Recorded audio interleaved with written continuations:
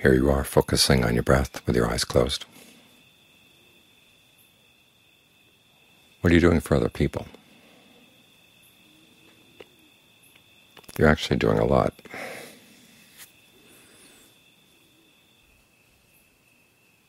You're bringing your mind under control. The extent to which you can get rid of greed, aversion, and delusion inside yourself, that means there's less greed, aversion, and delusion to inflict on other people. And you're setting a good example.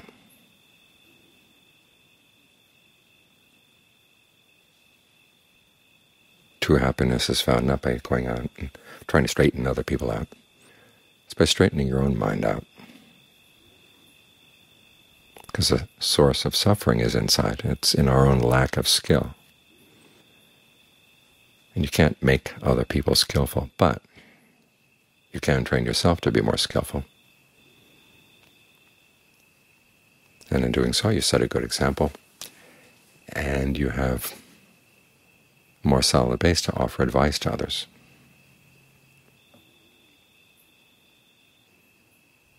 The extent to which you can improve the quality of your mind.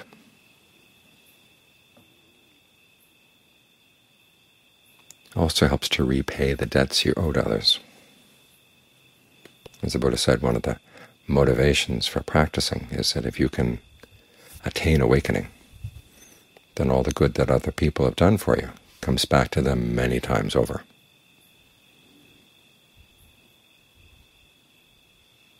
You're taking this body, you're taking this mind, the gift from your parents, and you're using it well. The merit goes back to them.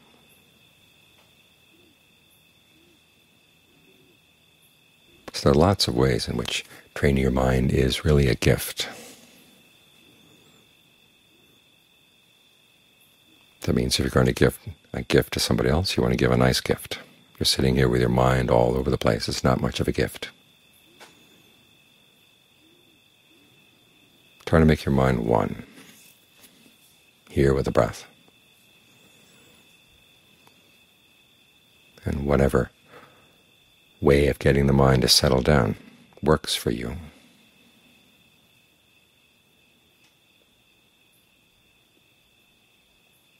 That's what you pursue. There's no one right way of getting the mind into concentration. Each person's mind is going to find a different topic to be calming. Although you find that some topics can take you only so far and others will take you even farther. The breath takes you very far. So you may find that you want to work with a few other topics first to get the mind in the right mood, so that it's ready to settle down with the breath. Sometimes thinking about the impermanence of life outside, all the things you've worked for or are working for right now at some point are going to be washed away, burned away, or just fall apart on their own.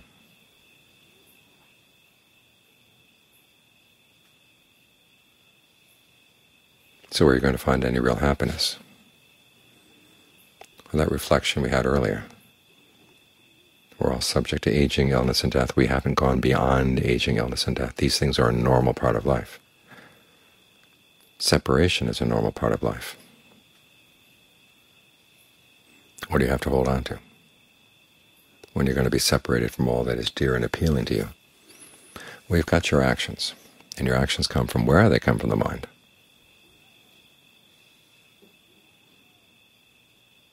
So it gives you even more incentive to get the mind to settle down here in the present moment work on the intentions of the mind. Because that's what we're working on here as we focus our meditation. Get into concentration. The Thai translation for samadhi or concentration is firm intention.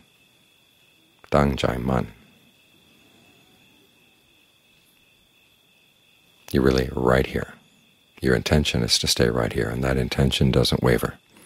Whatever wavering you may have, you try to figure out some way to get past it, to iron it out. So this gift you're giving to the world right now, the quality of your mind, is a gift of high value.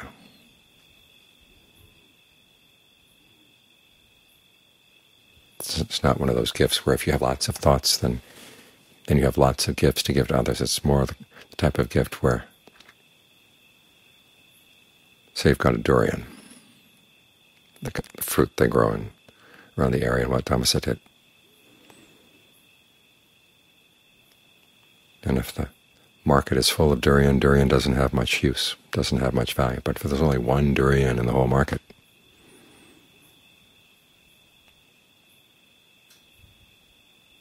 that durian's going to have a high price, and usually ends up being given as a gift to someone special. So try to make your mind one here as a good gift that you want to give to somebody special. Think about all the people for whom you have debts, or with whom you have debts. Your parents are number one.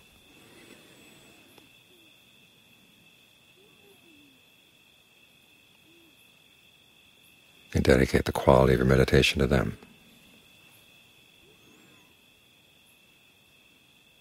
It's a lucky parent who has a child who's a good example. So you want to be that good example. And you spread that goodness out in all directions, so the goodness you received from the fact that you've got this human body, you can spread out to the world at large. And this doesn't mean going out and running around teaching people, but it does mean being a good example and developing a quality of mind that's a good influence in the world. The mind has its currents, and when they're concentrated, they can be strong.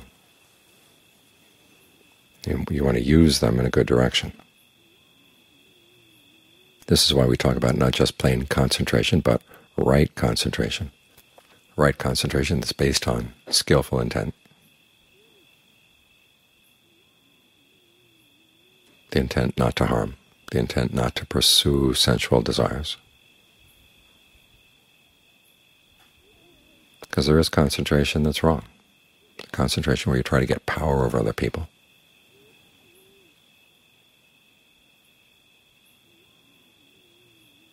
That creates lots of bad karma. You're trying to get power over your mind. Realizing that your greed, aversion, and delusion, if they're not brought under control, can keep on creating trouble for a long time to come. You see this all around us. People who gain positions of power, they've obviously got some good karma from the past. But how many people actually use their power well? There's an Ajahn in Thailand who talked about the three types of merit. It comes from generosity, the merit comes from virtue, the merit that comes from, from meditating. He was talking to a lot of people who tended to be happy to give gifts, but weren't so interested in following the precepts or practicing meditation. He said if you just give gifts, follow the precepts or meditate, then you have a good chance of being reborn as a dog in a, an American home. Your life is comfortable, but you don't know much of anything, and there's no opportunity to really do good with what you got. If you practice the precepts and are generous, then you have the opportunity to be born as a human being. But if you don't meditate, especially if you don't develop discernment, the wealth you have could actually be harmful to you. You turn around and use that wealth in ways that are destructive to yourself, destructive to others. We see a lot of that around us. So you want to be able to develop discernment as well, and that requires that the mind settle in and be very still, because otherwise your discernment is just going to be what you've read in books.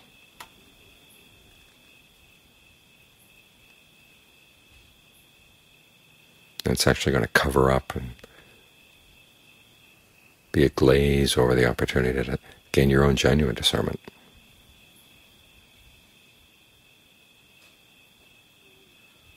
which comes from developing your own powers of observation, getting the mind still and then watching it.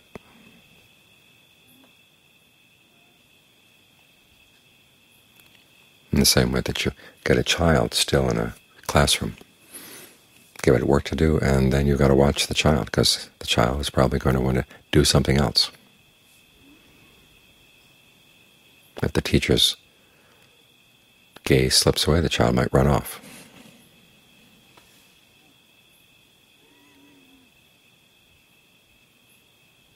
Or might do something else besides the work that it was meant to do.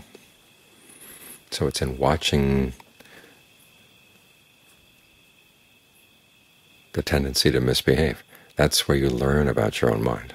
So you've got the mind here with a task to do. Stay with your object of concentration.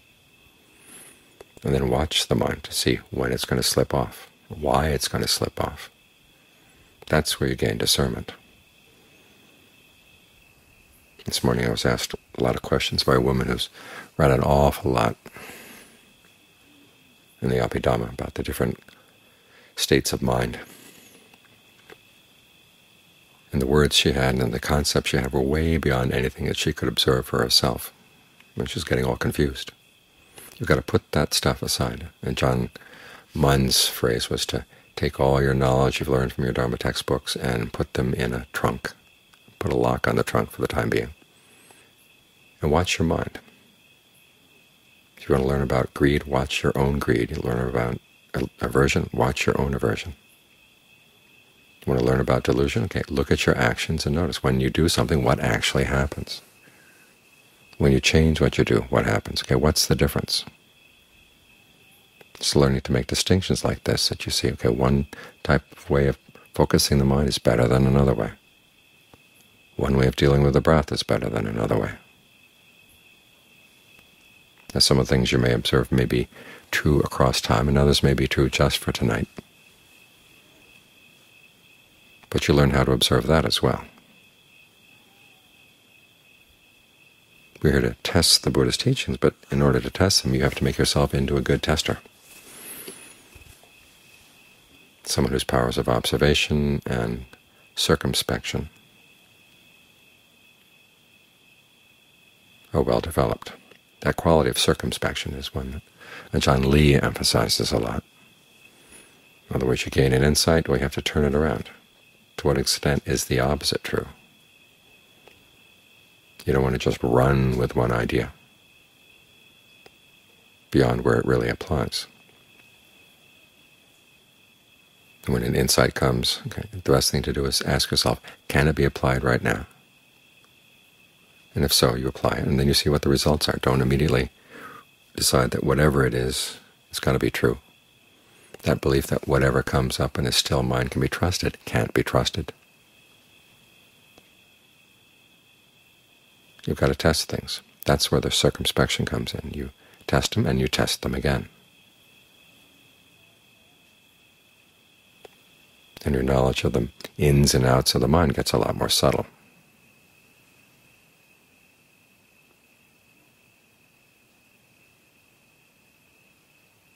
So this is how you take your gift to the world, which is the current of energy that the mind sends out both while it's sitting here still and when it's using that current to speak or act. And you're making it a gift of high value, something you can be proud to present.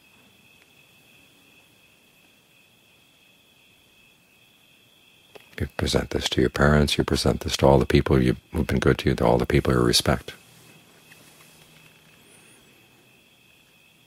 And from that you spread it to everybody.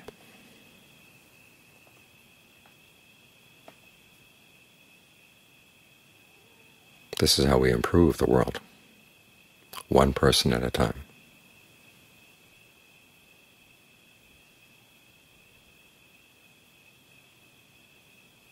It's the only way that lasting improvements can be made.